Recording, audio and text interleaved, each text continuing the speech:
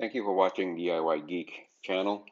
Uh, in this video, I just would like to create a quick video to tell whoever is having the same problem, um, which is this green screen issue. I was just creating a video um, on ScreenFlow. And um, after creating it, I was surprised that I saw this green screen. And I was like, what? Um, I wasted all that time and it just turned out green. So I want to make sure um, I can help somebody quickly how to fix this issue. To fix this issue, which is actually a permission issue, uh, first you go to System Preference and you click on Security and Privacy. System Preference is the icon with the gears. Um, yeah, just call System Preference.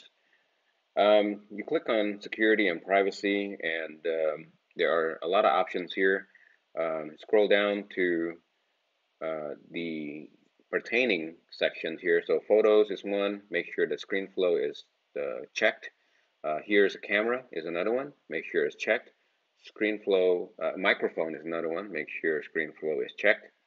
And the biggest one that actually caused the green screen is actually under screen recording. Make sure screen recording, ScreenFlow is checked. Um, Mine is already all done, but uh, the first time you do it, it may ask you to, uh, to confirm and to restart the app and go ahead and press OK or allow for it to restart the app or quit now to, re to, to uh, restart the app.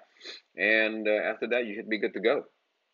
Um, thank you for watching uh, this quick video. Hopefully this video helped you. If it did, please give it a like and thumbs up um, and subscribe to my channel.